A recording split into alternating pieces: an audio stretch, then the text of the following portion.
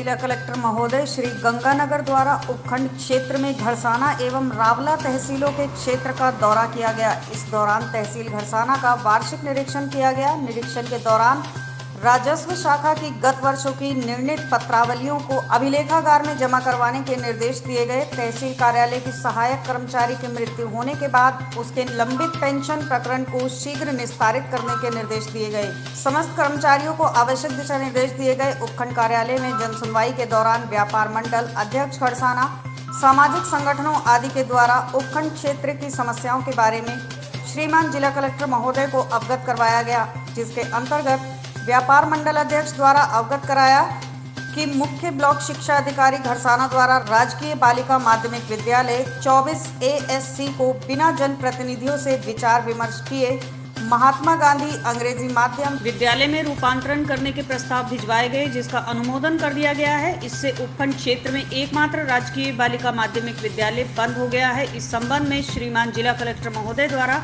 उपखंड अधिकारी को निर्देश दिए गए कि इस संबंध में जाँच कर तथ्यात्मक टिप्पणी जिला कार्यालय को भिजवाएँ, ताकि नियम अनुसार आवश्यक कार्यवाही की जा सके।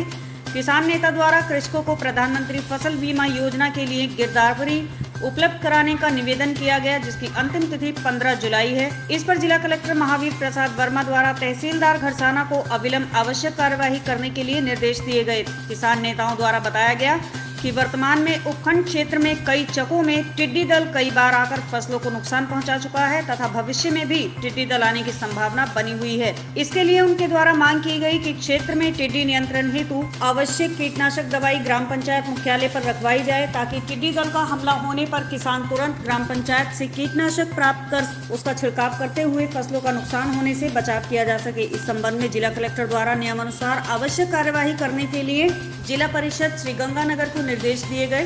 ग्राम पंचायत सात एमएलडी के सरपंच द्वारा अवगत कराया गया कि उनकी पंचायत का वार्षिक बजट जनता जल योजना में ही खर्च हो जाता है, जिससे ग्राम पंचायत के अन्य विकास कार्यों के लिए बजट नहीं रहता है। उनके द्वारा मांग की गई कि जनता जल योजना के लिए बी मत से बजट का आवंटन किया जाए। इस पर जिला कलेक्टर द्वारा नियमानुसार आवश्यक कार्यवाही करने का आश्वासन दिया गया। पहुँचे हैं और जो व्यापार मंडल, सामाजिक संस्थाओं और कई किसानों ने भी आपको सुझाव दिए हैं उस संबंध में क्या कहना है?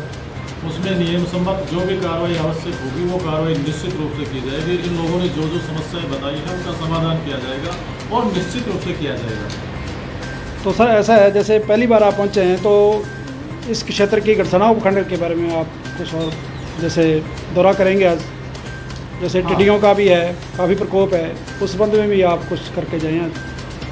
अभी जो प्रतिनिधिमंडल मिला था उसमें कुछ लोगों ने टीडीओ के संबंध में भी समस्याएँ बताई थी। ठीक सर। तो यहाँ से मैं और एसडीएम साहब उस क्षेत्र का दौरा करेंगे।